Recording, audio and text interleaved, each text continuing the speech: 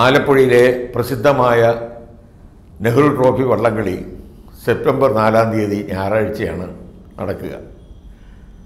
ഈ ലോകപ്രശസ്തമാണ് ഇപ്പോൾ ആലപ്പുഴയിലെ നെഹ്റു ട്രോഫി വള്ളംകളി.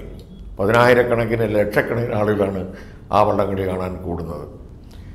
ഇത്തവണത്തെ വള്ളംകളിക്ക് ഒരു പ്രത്യേകത ഉണ്ടായിരുന്നു. ആ സമയത്ത് കേന്ദ്ര ആഭ്യന്തരമന്ത്രി അമിത്ഷായും അതുപോലെ തന്നെ ദക്ഷിണേന്ത്യൻ സംസ്ഥാനങ്ങളിലെ മുഖ്യമന്ത്രിമാരും ഇവിടെ ഒരു യോഗം ചേരുന്നുണ്ട്. അതിന്റെ ഉദ്ഘാടനം നടത്തുന്നത് കേന്ദ്രമന്ത്രി അമിത്ഷയാണ് അമിത്ഷാ വരുന്നതുകൊണ്ട് അദ്ദേഹത്തെ മുഖ്യ അതിഥിയായി സംസ്ഥാന സർക്കാർ ക്ഷണിക്കുകയും സർക്കാർ അത് അദ്ദേഹം ആദ്യം അത് സ്വീകരിക്കുകയും ചെയ്തിരുന്നതാണ്.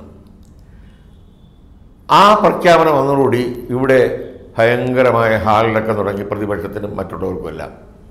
അമിത്ഷയെ വിളിച്ചിട്ട് മുഖ്യാതിഥിയാക്കുന്നതിന്റെ കാരണം എന്താണ് എന്ന് പറഞ്ഞിട്ടുള്ള വാദപ്രതിവാദങ്ങളും ചർച്ചയും ഒരു കേന്ദ്രമന്ത്രി അതും ആഭ്യന്തരമന്ത്രി ഇത്തരം നമ്മുടെ ഒരു പരിപാടിയിൽ വന്ന് മുഖ്യാതിഥി ആവുക എന്ന് പറഞ്ഞാൽ നമുക്കും കൂടി അഭിമാനമാണ്. രാഷ്ട്രീയമല്ലല്ലോ അവിടെ നോക്കേണ്ടത്. ഇപ്പോൾ പ്രധാനമന്ത്രി മോഡിയെ രാഷ്ട്രീയം വെച്ചിട്ടാണോ നമ്മൾ ബഹുമാനിക്കുകയും ആദരിക്കുകയും ചെയ്യുന്നത്? അല്ല. ഇന്ത്യയുടെ പ്രധാനമന്ത്രി ലോകം മുഴുവൻ അംഗീകരിക്കുന്ന പ്രധാനമന്ത്രി എന്നുള്ള നിലയിലാണ്.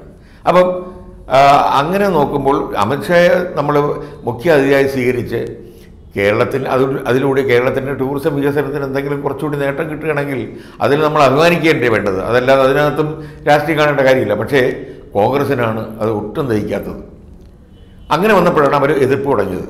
പഴയ മുൻ നമ്മുടെ പ്രതിപക്ഷ നേതാവ് ചെന്നിത്തലയ്ക്കാണെന്നുണ്ടെങ്കിൽ സഹിക്കാൻ വയ്യ. അമിത്ഷാ എന്ന് കേൾക്കുമ്പോൾ തന്നെ അദ്ദേഹത്തിന് ഒരുമാതിരി ചുവപ്പ് കൊണ്ട കാളയെ പോലെയാണ് അദ്ദേഹം ഓടി നടക്കുന്നത്.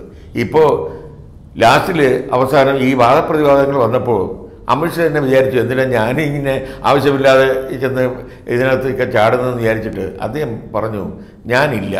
എന്നെ വെറുതെ വിട്ടേക്കുക ഞാൻ വരുന്നില്ല. എന്ന് പറഞ്ഞ് അദ്ദേഹം ആ വിവരം അറിയുകയും ചെയ്തു. ഇത് കണ്ടപ്പോൾ കുറച്ചുകൂടി ഹാളിലൊക്കെ ഉണ്ടായി ചെന്നിത്തലയ്ക്ക്. അദ്ദേഹം പറഞ്ഞു അദ്ദേഹം മറ്റൊന്നുമല്ല പറഞ്ഞത് പിണറായി വിജയൻ നന്ന നോക്കി കേന്ദ്രത്തെ ഒന്ന് പിന്നെ വളച്ച് വശത്താക്കാൻ.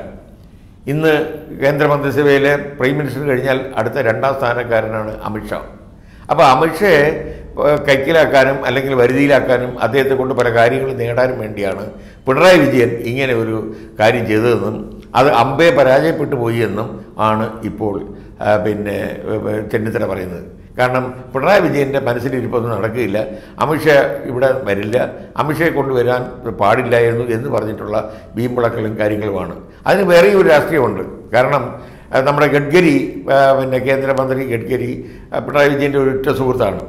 പല കാര്യങ്ങളിലും ഗഡ്കരി നമ്മുടെ കേരളത്തിന്റെ പല പദ്ധതികൾ നടപ്പാക്കുന്നതിൽ സഹായിച്ചിട്ടുണ്ട്.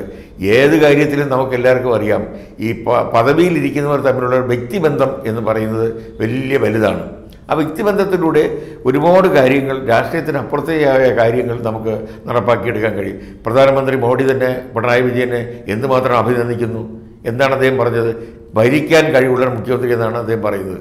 അപ്പോൾ അതിന്റെ അർത്ഥം എന്താണ്? പിണറായി വിജയന്റെ പല പദ്ധതികളും പരിപാടികളും അദ്ദേഹത്തിന് ഇഷ്ടപ്പെട്ടുകൊണ്ടാണ്. പിന്നെ നമ്മുടെ പൈപ്പ് ലൈൻ വാത എണ്ണപാത പാത പിന്നെ പൈപ്പ് ലൈൻ പദ്ധതി. അതൊരു ഉദാഹരണമാണ്. അത് പിണറായി വിജയൻ വന്നതിന് ശേഷമാണ് ആ വാതക പൈപ്പ് ലൈൻ പദ്ധതി പൂർത്തിയാക്കാൻ കഴിഞ്ഞത്. അതാണ് പിണറായിയെ ഏറ്റവും കൂടുതൽ മോഡിയേക്ക് അടുപ്പിച്ചത്. കാരണം ഏത് പദ്ധതി ആയിരുന്നാലും ശരി അത് നടപ്പാക്കാൻ ഒരു ഇച്ഛാശക്തിയും ഒരു നേതൃഗുണവും വേണം. അത് പിണറായിയിൽ അദ്ദേഹം കണ്ടു. അതുപോലെ അമിത്ഷാ വന്നാൽ നമുക്ക് തീർച്ചയായിട്ടും അതുകൊണ്ടുള്ള ഗുണം ടൂറിസം മേഖലയ്ക്കുണ്ടാവും. കേരളത്തിന്റെ മൊത്തത്തിലുള്ള സാമ്പത്തിക വളർച്ചയ്ക്ക് അത് സഹായിക്കും. കാരണം ടൂറിസം നമുക്കിനി മാറ്റി വയ്ക്കാനാവില്ല. അത്ര വലിയ വളർന്ന് വികസിച്ച് കഴിഞ്ഞ് നമ്മുടെ വരുമാനം വളരെയധികം കോടിക്കണക്കിന് വരുന്നത് അതുകൊണ്ടാണ്. കോവിഡ് കാലത്ത് അല്പം പ്രയാസപ്പെട്ടുവെങ്കിലും പിന്നീട് നമ്മൾ അതിൽ നിന്ന് കരകയറി വരികയാണ്.